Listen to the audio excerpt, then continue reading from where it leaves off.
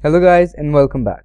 In this lesson I'm going to show you that how you can inspect your document. The changes that you have made you can easily inspect them and Word then ask you then do you want to keep these changes that you made in this document or you want to remove them. So first of all let's go to our file over here and if I click file you notice that on the info tab of right over here I have the second option called inspect document. So this means before publishing this file, be aware that it contains document properties and author's name.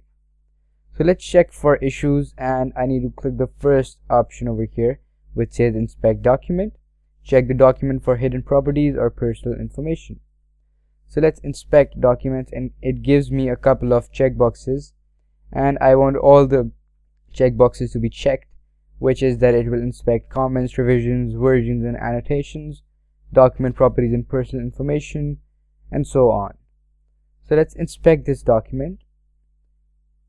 And once it inspects this document, you notice that I have an error over here which says document properties and personal information.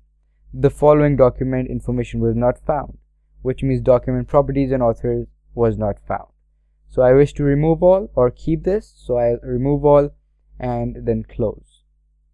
Now let's go back and let's include a footer over here. So I just need to double click on the bottom of the page for the footer on a, or I can double click on the top of the page for the header.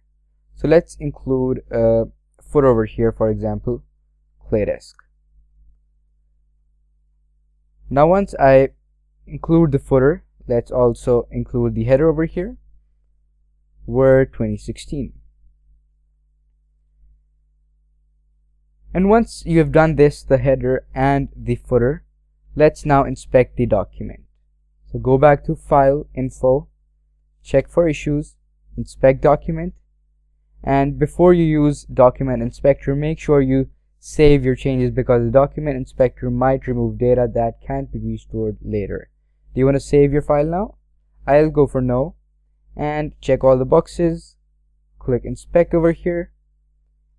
And you see that in the header footer and watermarks area the following items were found. So I included headers and footers as well. So do you want to remove them or keep them? So let's click remove and close. Go back. And you notice that my head, uh, footer and header have been removed successfully.